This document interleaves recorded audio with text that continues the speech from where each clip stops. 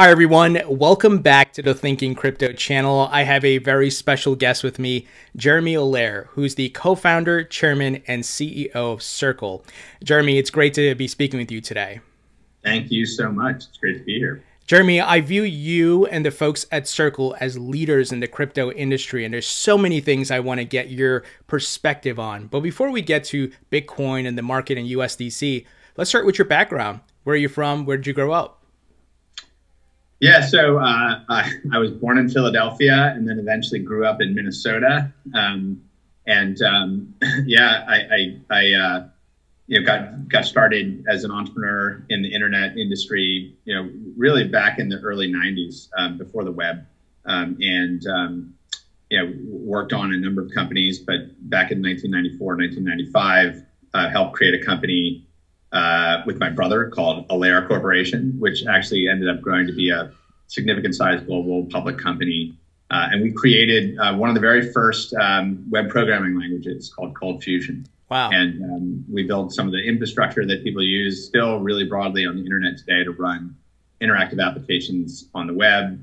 We built the most popular HTML design tool with millions of users at the time. It was a significant business uh, that we then eventually merged into a larger internet software company called Macromedia, where I was then a chief technology officer, and really looked uh, worked on essentially upgrading the internet to be kind of uh, user experience ready for broadband, and um, worked on Flash and the Flash platform, which uh, you know had a, a, huge growth period. Yep. Um, and then and then eventually. Um, uh, after a number of years there, uh, became in, in around 2002, 2003, became kind of obsessed with how could we bring television to the internet? How could we actually use the internet as a as an open platform, as an open network to uh, disintermediate the traditional um, centralized platforms for how media distribution happens? And, and I founded a new company uh, called Brightcove, mm-hmm. Uh, which is now a, a significant scale global publicly traded company and, and really built that out um,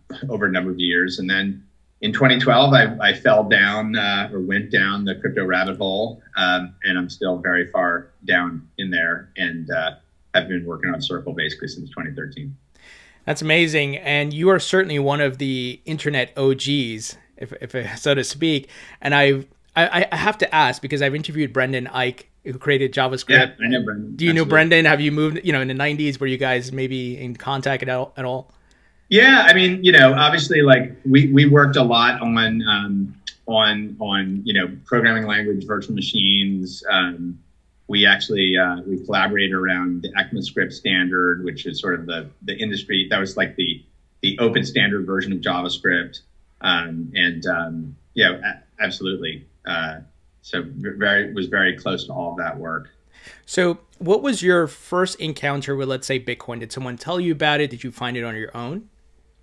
Yeah, I mean, so I, I found it on my own. Um, just you know, just read, like sort of tech blog reading, um, and uh, you know, I, I don't actually remember the specific blog piece, but then I started kind of you know continuing to kind of read more um, and it was just one of those things where, as a technologist, I was like, "How is this possible? Like, wait, I need to better understand this." And so then I like dove in and you know got my you know you know had my first blockchain uh, you know wallet, Bitcoin wallet. You know, started testing actual Bitcoin transactions and and I think it was you know I, I have a few different light bulb moments in in my career. Um, and uh, and sort of synchronizing the blockchain uh, and, and being able to conduct transaction directly on on my computer back then, it was mm. just very clearly a revolutionary thing. And and um, and you know, my my my other background that I didn't really talk about is that you know I studied kind of um, what I call global political economy mm. um, in in college, and remained very very interested in global economic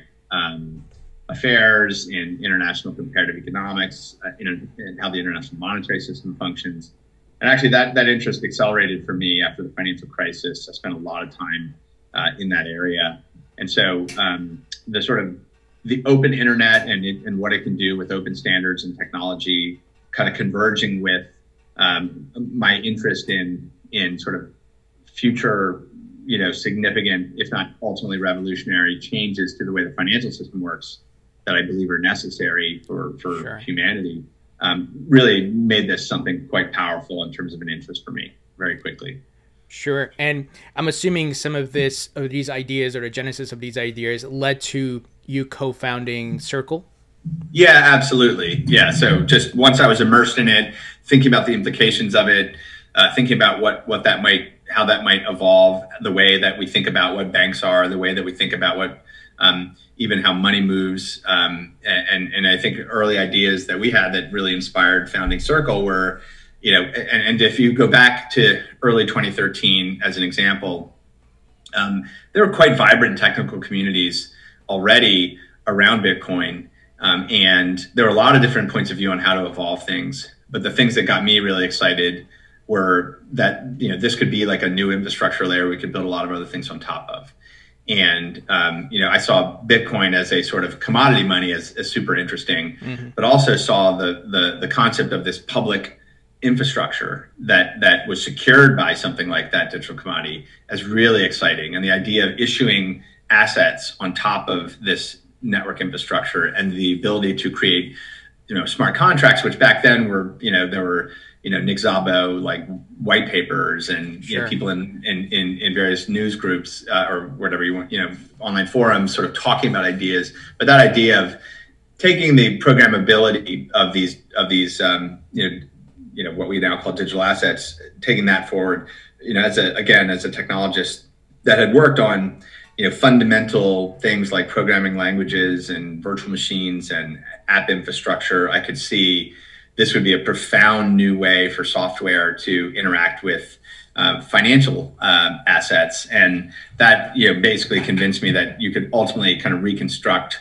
what we think of as financial services uh, and and products that you might get from a bank, but you in the future might get from machines, and that all you know was stuff that we saw when we were founding Circle as inevitable, um, mm. and that we wanted to kind of work towards um, seeing those things uh, come about. Sure. And what are the services that Circles currently provides? And and of course, I know USDC is a big part of that, but if you can give us the holistic vision of the company. Yeah, sure. I mean, at, at a high level, just just to uh, you know, share one thing, which is um, you know a number of years ago, um, having kind of iterated on the different kinds of technologies that would make um, you know, moving what we think of as traditional money, like the liabilities of a central bank, making that really easy to move on the internet. Mm-hmm. Um, sort of the technology made more of that possible, but it was also, you know, coming up with the governance frameworks, mm-hmm. um, the the regulatory frameworks, the assurances that that ultimately market participants would need for something like a dollar digital currency to function sure. uh, on the internet. Um, so we, you know, several years ago, um, you know, basically put a, lot of our effort into how do we how do we construct that and, and construct a standard um, for how that can work. And that can, that standard can be an open standard that multiple industry participants can can contribute to. It's open source itself. And then the governance around how that system operates would be a kind of multi-stakeholder governance model. And so we created Centre and Centre Consortium uh, and when we were when Circle was launching the the initial platform for USDC in 2018, we ended up um, you know finding a great partnership with Coinbase, uh, who shares our vision for an open financial system and, and a lot of, of shared ideas. And uh, they they got involved in Centre and, and, became a really critical distribution platform for USDC. Uh, you know, in those early days, and obviously still now.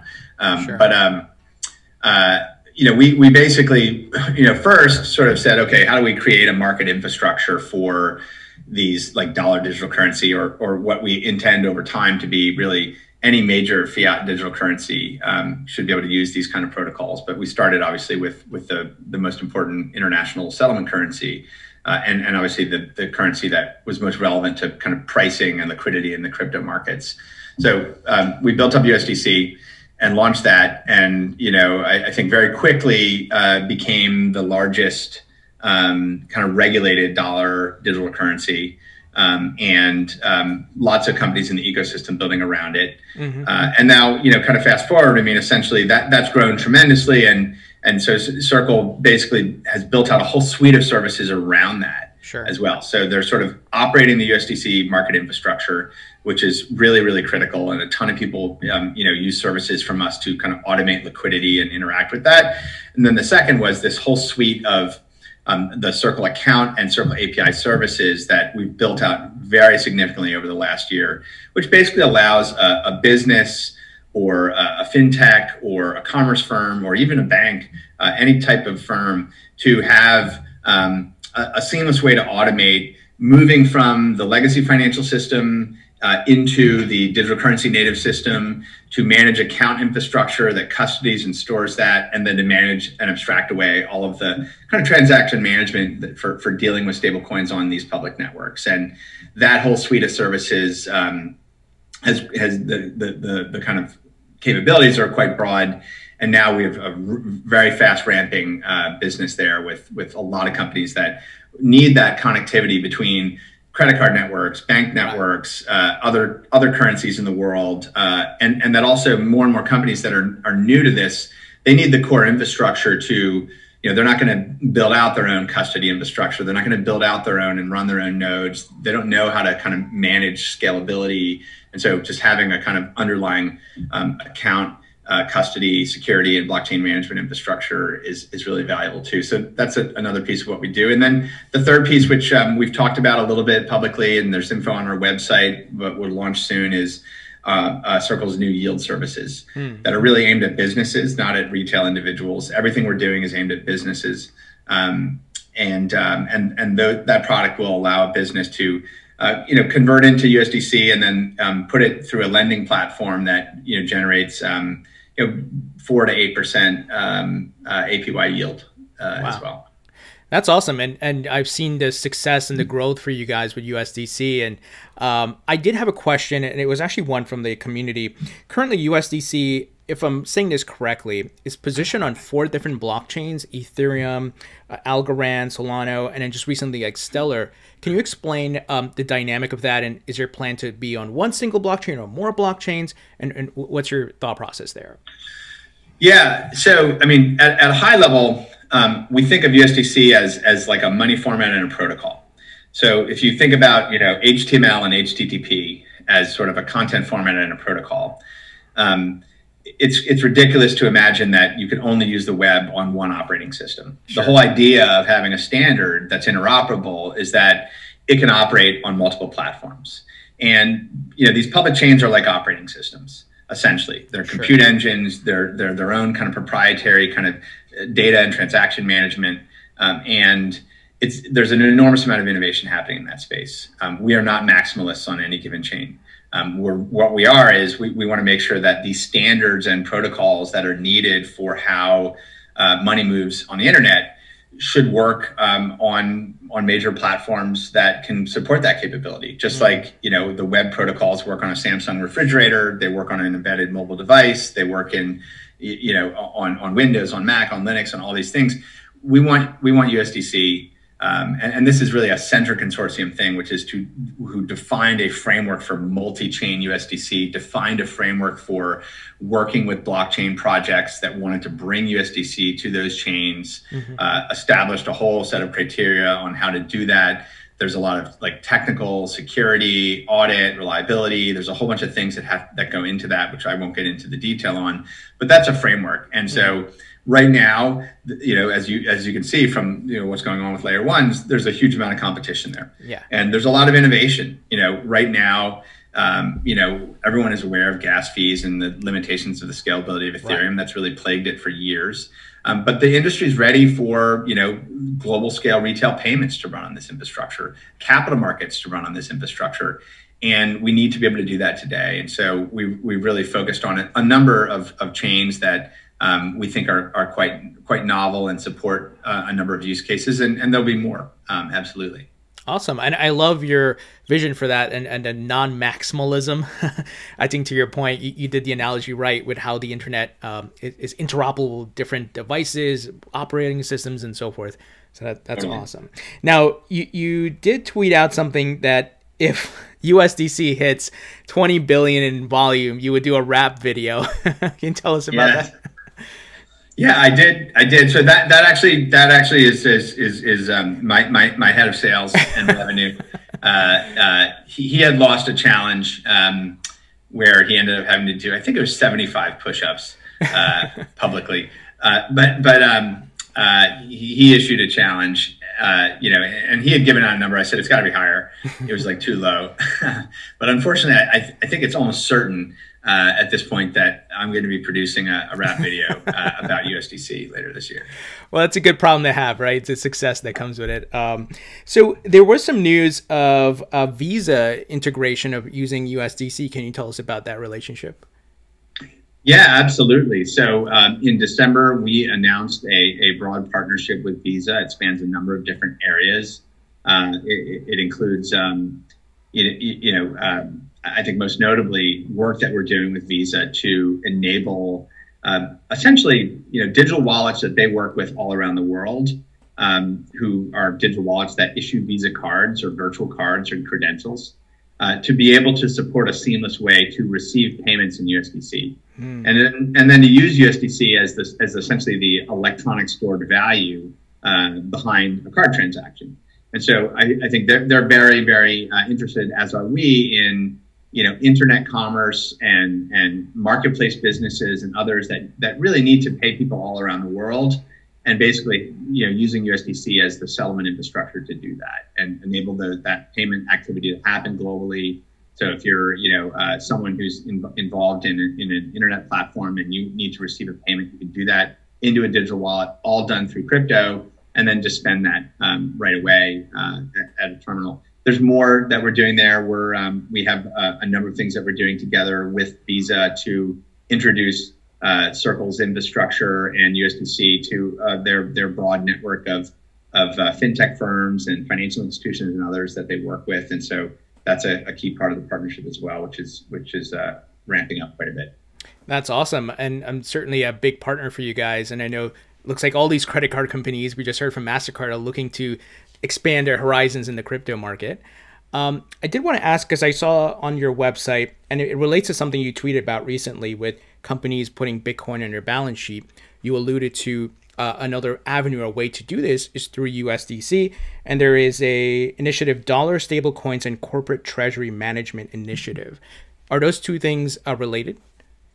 Yeah, absolutely. I mean, so when, when we think about what Circle operates, you know, with a Circle account um, and, the, and, and the infrastructure that we provide, you know, we describe it as sort of payments and treasury infrastructure for the internet. Hmm. And when you think about what a business is, you know, at the core is their treasury, and that treasury is sort of where they hold their value, and uh, and they and their treasury is they attach it to various different ways to move value and, and support, um, you know, payments in and out. Um, we think more and more of that activity will be digital currency native, sure. uh, but we also think the storage of money um, and and and actually how people um, you know take their working capital that they might have and find ways if they're not using that working capital to generate a return from it. Yep. And that's sort of the cash management side of what you think of in, in traditional kind of corporate treasury, commercial banking, uh, et cetera.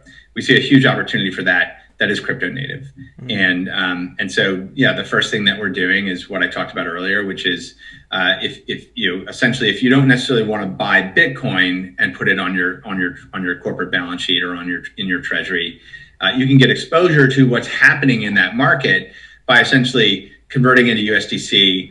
The USDC then gets lent out into the crypto markets, and you're effectively getting a, a, a passive yield from sure. uh, the, the market activity that's going on in crypto. Uh, that's okay. So that totally makes sense. It's another option for uh, corporations if you don't yeah, want to put absolutely. Bitcoin. Got so it. some corporations yeah. will, will want to have assets denominated in BTC sure. or ETH or what have you. And some corporations are happy to say, I, am interested in what is going on over there, but I, I'd like a dollar asset, basically, sure. a dollar denominated asset. Um, and, and, that that sometimes is is uh, you know that's quite a large market actually. Then that you know when you look at the trillions of dollars that sits on corporate balance sheets around the world, you know, a, a, lot of that is is in these sort of dollar based kind of uh, products, money markets, things like that. Sure. So I'm assuming you may be knocking on Elon Musk's uh, door, maybe MicroStrategy. I tweeted, uh, I tweeted to him, and, you know, hopefully, hopefully we'll hear back from his CFO or treasurer. For sure. Um, so I do want to ask you about central bank digital currencies. Obviously, central banks around the globe are looking to build their own digital version of their fiats. Do you see that as a competition something that might take market share from you or it complements what you're doing because USDC is more for retail but also for corporates.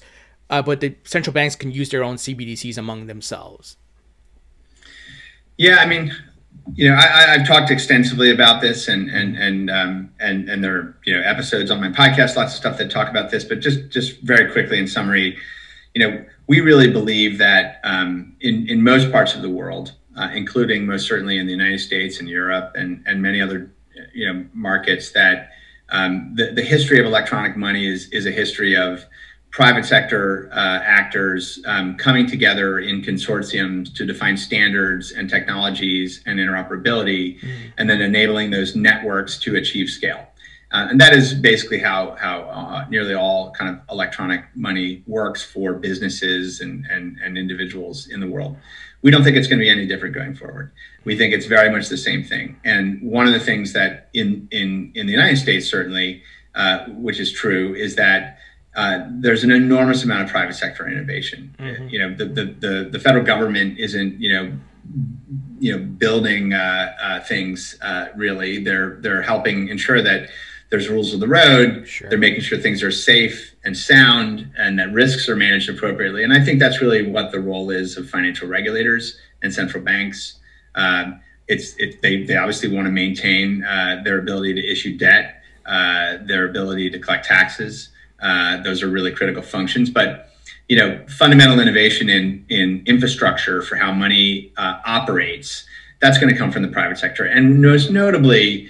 We're entering the, the age, the, the, the sort of age of internet money and of, of a financial system built entirely on the internet. Right. And that's much more different as well because it's going to be built on open source software. It's going to be built on open protocols. It's going to be built on decentralized infrastructure that works all around the world.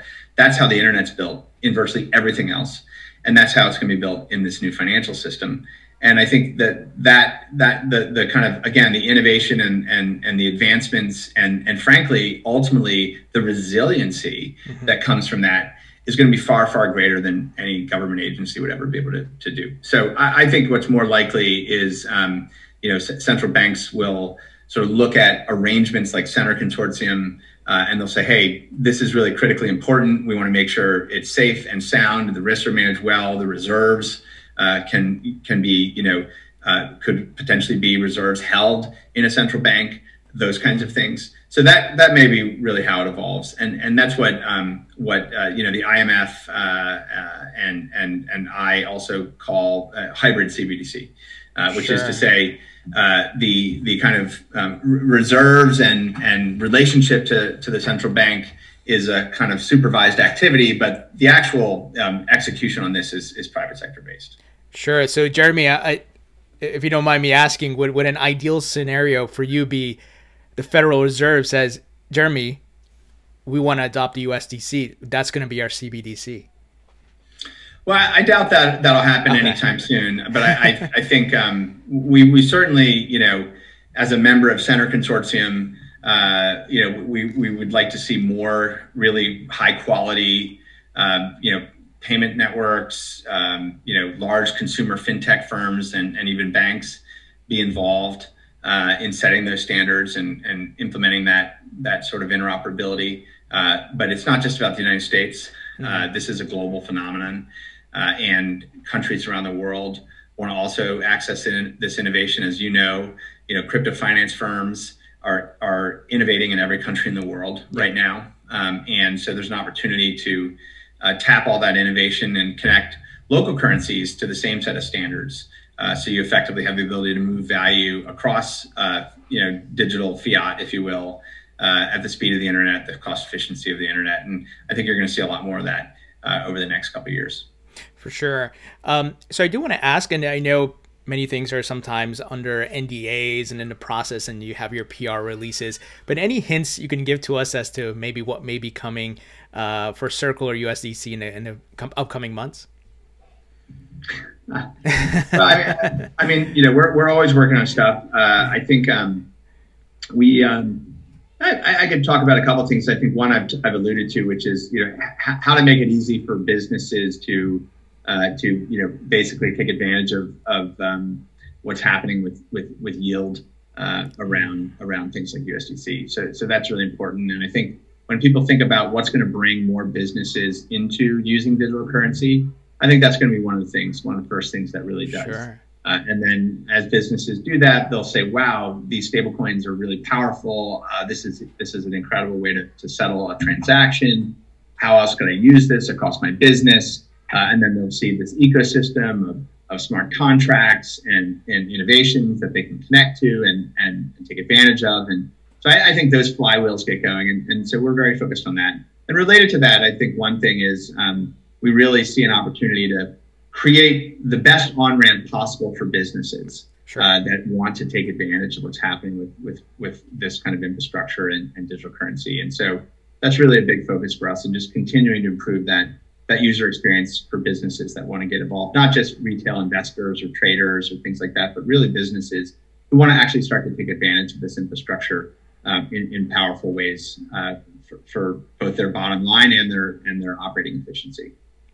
That's awesome, and I, I think certainly it's very the, the ability to earn um, yield and, and, and, you know on, on the USDC is certainly appealing. Um, that has me thinking about a few things, and I don't know that's available to retailers just for uh, you know corporates. Um, but any plans for a retail to be involved in that? And we're we're a pure um, you know we're we're purely focused on being a platform for businesses. Sure. But there are tons of companies that are retail facing that build on top of what we're doing. And so we want to just enable that whole ecosystem to thrive. We work with you know many many fantastic retail facing uh, you know products and services and want to keep supporting those. Awesome. So I want to switch gears a bit and talk about Bitcoin, um, which yeah. has been uh, on a serious rally, and we hit forty-eight thousand. I think it was yesterday, some new all-time highs. You know, give me your perspective. Someone who's been here since 2012, and uh, I'm sure you're holding some Bitcoin. Um, what's your thoughts on on the whole bull market that's happening? Well, you know, I. Uh I, am not surprised at all. So, I mean, my, my view um, kind of coming into the year was that um, just given various, you know, dynamics or, you know, even not, not just coming into the year, but, but really last year, uh, that, you know, sort of felt like the, the sort of next logical place would be in the 40,000s. Um, and uh, that happened pretty quickly. I think, you know, very clearly the next logical place from here is in the 60,000s. Uh, that's I think likely to happen in the coming months. Mm-hmm. Um, and um, you know, I, th- I think what we're seeing is a, a huge a huge build out of this, uh, and you know, there's an enormous amount of activity where you know this is becoming a, a significant asset for a, a, much broader base of of holders. Um, mm-hmm. And um, yeah, so I mean, my, my, view is is is that um, you know, seeing Bitcoin in the 150 to 200,000 range is, is very much in sight right now. Um, just just high level how I think about um, the, sure. the, the, pricing dynamics. Now, will there be sharp pullbacks? Uh, will there be yeah. sustained pullbacks? Sure. I mean, it would make sense uh, for for something as volatile as this. Uh, but the fundamentals are so strong, um, and I think the demand side of this is very very strong and will continue to be given what's happening in a global macro context um, it, it, it, it, has that. And, and I think, you know, the more this becomes a, a, a balance sheet asset for financial institutions, for corporations, uh, I think, you know, very likely this will be a balance sheet asset for some number of central banks in the world. As that happens, I think this, you know, this uh, Bitcoin certainly grows towards reserve currency status, uh, certainly in the next decade. Yeah, and it's amazing to see what's taking place from adoption from corporates, obviously Elon Musk and Tesla. But I recently interviewed the mayor of Miami, and I know he had a press conference last night. They're looking to put or allocate some of the city's treasuries to Bitcoin. When when uh, do you see a pushback from like the likes of the IMF and and just some government officials because it's like, wait a minute. Sure, sure. I mean, I I, I think there is still um, a massive disconnect. Um, I think that there's in, in, in, what I would describe as there's a, still a massive amount of cognitive dissonance mm. that occurs. Uh, I think that the concept uh, of uh, non-state, uh, you know, commodity money uh, is something that you know most people in power, uh, most people who run governments mm. are are very uncomfortable with, even though that is largely the history of, of money. Sure. people for you know the last 50, 60 years um, have really been accustomed to uh, uh, fiat as we understand it. And the notion that the world may be making a major change back to non sovereign commodity money is is very um, it's it's very disorienting for people, and especially I think a lot of the people who are in positions of power mm-hmm. uh, in in in government or or supranational monetary authorities or other things. I think while they will profess an openness to uh, technical innovation, uh, it tends to be you know how can we improve the payment system? Uh, how can we make things more efficient?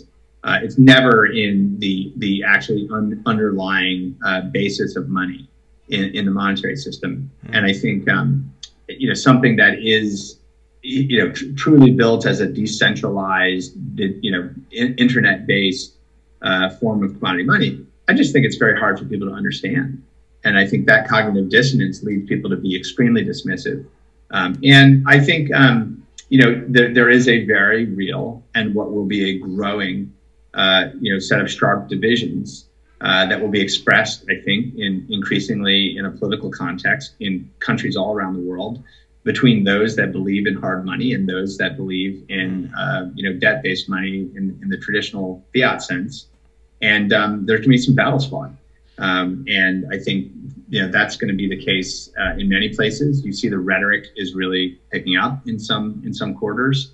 Uh, and I think, in particular, in countries with very weak currencies, uh, you're going to see large sectors of society opting into a non-sovereign, uh, you know, form of digital money, but also things like stablecoins as well. Sure. And, and so there are real sovereignty issues, and I do believe that that's going to cause crises in more places in the world. Um, and so that's something that we're going to have to confront. Yeah, absolutely. And you know, the trend that started, do you, do you see Google, Apple, Amazons of the world starting to put Bitcoin in their balance sheet sometime this year? Yeah, I don't know about that. Um, uh, yeah, I, I, don't know that I would say that that's that's a foregone conclusion uh, at all. Got it. It's just to be seen, I guess. But um, I, am I personally, because I hold Bitcoin, I'm hoping under the green flag from Elon uh, th- that this trend continues. Uh, but we'll have to wait and see, I, I guess. Um, and as far as Bitcoin mining, I, I, there seems to be a boom happening here in the United States. And do you see kind of a global macroeconomic battle for the control of hash rate of Bitcoin? Given we just heard about Russia in Siberia, 20,000 yep. mining uh, machines there. And the US, some of the biggest mining farms being built in the world. Yeah, I mean, I, I have talked about about this, um, and and you know, uh, and, and I've said publicly as well that I think um, there are there is an increasing concern with senior national security officials in the United States that the concentration of hash power in certain geographies poses a, a, a poses a risk um, economically. Uh, that's significant. I, I think um, I, I, think you're going to see more state-backed efforts hmm. to support regional, um, uh, you know, you know, kind of mining and and and and data center infrastructure. Uh, that is oriented towards securing crypto networks. Um, at the end of the day, if you look at blockchains as uh, effectively as these crypto networks that have many, many applications, many, many uses, and having crypto networks that are censorship resistant, that also can can uh, withstand nation state attack vectors, is is really really critical. Uh, and so I do believe that um, increasingly countries will treat the uh, their involvement in these global public crypto networks as, as a strategic priority. Um, I, I, have said as well that I think, um, you know, ultimately um, uh, that, you know, even proof of work um, mining is going to lead to continue to lead to some of the most significant breakthroughs in renewable energy as well. Mm. Uh, and we're already seeing that um, an enormous amount of, of what's taking place is, you know, focused on optimizing for the cost of electricity and if you want to optimize for the cost of electricity, you want to get it as close to free as possible. And the only way to get it as close to free as possible is by harvesting renewable energy. And so um, I don't think people quite realize that when people talk about a Green New Deal in the United States, I think that needs to include uh, investments to support North American mining uh, very specifically green energy uh, mining infrastructure mm. that'll create jobs. It'll create renewable yes. energy jobs. It'll create economic opportunity in communities around the country. Uh, and so I, I, I, I, hope to see Joe Biden talking about how the United States is going to be a world leader in Bitcoin mining, and it's going to be part of our effort to meet the obligations of the Paris Accords. Sure. And and do you see the Biden administration, not to get political and, and right and left, but uh, it, it, it, more crypto friendly. I know on towards the end of uh, Trump's administration, Mnuchin tried to throw in some wallet regulations, and Jay Clayton did some stuff with Ripple. Uh, do you see, you know, maybe a, a greater path forward for, for, crypto under this administration? You know, I think it's it's it's really easy to sort of try and think that you know there's a person or a group of people that you know are going to sway this way or that way. I think the important thing about the federal government is that these agencies, um, these these agencies that are are really you know kind of stewards of of oversight, um, you know, these are staffed by um, I think you know career civil servants. Hmm. Uh, there's an enormous amount of uh, and and in Congress too. I mean, the policy staffers that work the Hill, um, all these people. And, and what I would say is it's remarkable how much more educated and engaged policymakers are in every tier of government, uh, from you know small offices of, of, of, relatively small congressional districts up to you know leadership of the SEC, uh, like Gary Gensler. Yep. So there's a lot of education. There's a lot more awareness. This has obviously become a critical set of emerging market infrastructure. I think that you're going to see engagement. It's going to be constructive. People are going to want to figure it out. Uh, this is not going to be knee jerk reactions and, and things like that. I think people want to get it right. They understand this is a significant infrastructure. Uh, so I'm, I'm quite optimistic, and and um, and I think we we are certainly on a positive side. We're now in a political environment and and in, the federal government as well, where I think there's more of a sense that things can get done. Uh, I think um, there was uh, I think less of a sense that things can get done um, over the past four years. Uh, and so I'm I'm cautiously optimistic. And I know uh, I've seen you and and just even Circle mention in the efforts to lobby and to bring dis- dialogue and discourse with the folks in, in DC.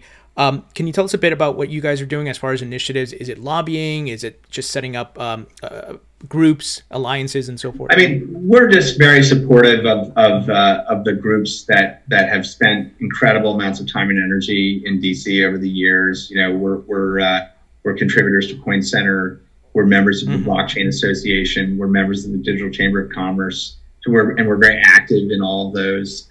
And and those are really the the groups that are doing uh, doing the work. Uh, and so certainly, I, I, I spend some time myself um, involved with and engaged with um, you know policymakers uh, you know from time to time. Um, but really, it's about just building up you know industry's uh, presence overall.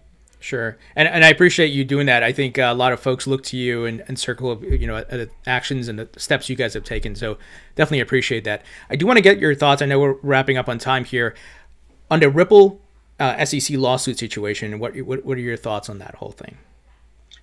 Yeah, you know, I haven't I haven't read the the case or the responses, and so I, I would say I have a pretty uninformed uh, opinion about it. Um, so I'm not probably the best person to comment on the details or the merits of of uh, of that. I mean, I think um, you know there there are a lot of a lot of companies in the industry that have uh, you know supported uh, you know Ripple as a virtual currency um, for for a very long time, mm-hmm. um, and um, you know, again, you know, I, I, don't, I don't really have a view into the facts and circumstances or merits there. I expect that this will be a, you know, pretty involved uh, back and forth over the coming years. Sure. So I do want to talk about DeFi. Uh, get your thoughts on that, and I, I see exponential opportunities with DeFi. What, what are your thoughts on it? Absolutely. I mean, you know, when we founded Circle, the thing that got us most excited was you know once once we got to a phase where you had fiat digital currencies like USDC that uh, the programmability of of that money um, and and of of you know digital assets more broadly was going to really foster huge amounts of innovation in in how financial services and, and financial market infrastructure could function. Uh, and so it's just incredibly exciting to see that happen. I think we're you know we're in the you know what do you, whatever you want to call it the first inning first inning the second inning sure. we're we're still very early in that um, and I think um, we're very big believers that uh, decentralized finance uh, and that kind of model for uh, for market for markets and for market infrastructure um, is going to become a, a backbone of uh, of the global um, economic system over time. Awesome. So, final question here as we wrap it up. Some rapid fire questions. Uh, what's your favorite food? Uh, Indian food. Awesome. Uh, what's your favorite musician or band? Or who, I should say. Uh, I would just say category uh, EDM. It, really? I would not uh, have guessed that, Jeremy. but that's mm-hmm. awesome. Fa- favorite movie? Shawshank Redemption. Ah, good one. favorite book? Oh, um, the Soccer Wars. Hmm, haven't heard of that. I'll have to check that one out. And when you're not at Circle or you know looking at the crypto market, what are you doing for fun? Just hanging out with my kids and my family. Awesome, Jeremy. Uh, thank you so much. I learned so much from you today, and wish you best of luck with Circle and USDC. Thank you for joining us today. Thank you, Tony.